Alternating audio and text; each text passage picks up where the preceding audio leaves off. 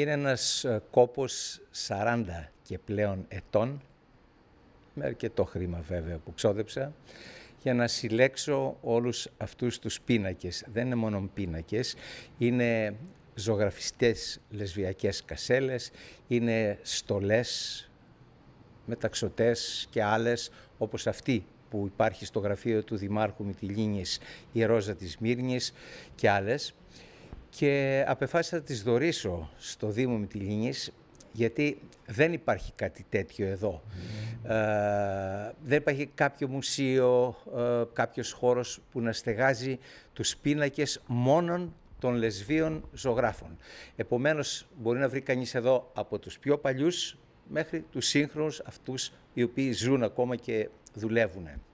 Ο Γιάννης ο Γιαννέλης αγαπά τον τόπο του, αλλά και οι κάτοικοι αυτού του νησιού τον αγαπούν πολύ. Έχει ανιδιοτελώς προσφέρει πολλά σε αυτόν τον τόπο και συνεχίζει να το κάνει.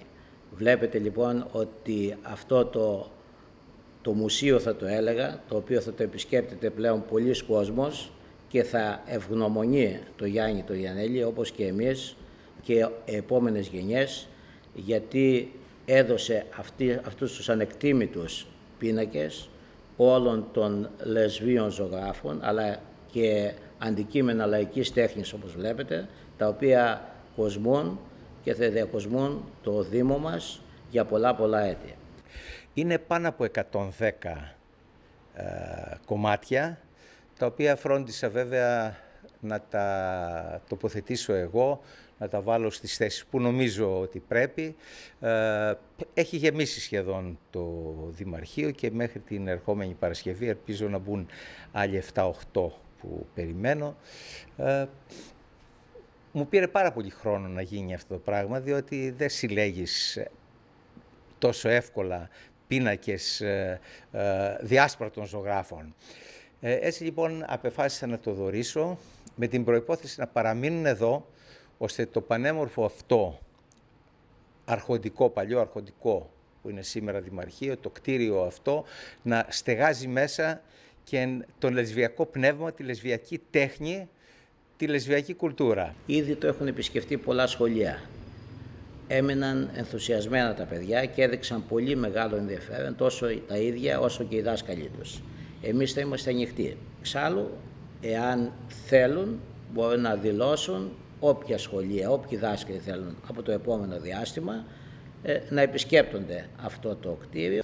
Επίσης, σκοπεύω να, να δωρήσω, περιμένω να τελειώσω πρώτα εδώ, ε, κάποια αντικείμενα όπως παλιές φωτογραφίες του, του, του 19ου αιώνα και του 20ου αιώνα της ε, Μυτιλίνης, να τα δωρήσω και άλλα αντικείμενα, χάρτες παλιούς, στο διπλανό κτίριο στο Ρουσέλι όπως λέγεται, το Δημοτικό Θέατρο, ένα κομμάτι εκεί, βιβλία ενδεχομένως, θα δούμε τι μπορεί να δεχθεί και έτσι να ολοκληρωθεί αυτή η δωρεά. Στόχος μου είναι οι επερχόμενες γενιές να ξέρουν τους ζωγράφους οι οποίοι άλλοι μεγαλούργησαν, άλλοι έμειναν σε κάποιο επίπεδο, αλλά πάντως κάτι πρόσφεραν στη λεσβιακή τέχνη όλοι τους.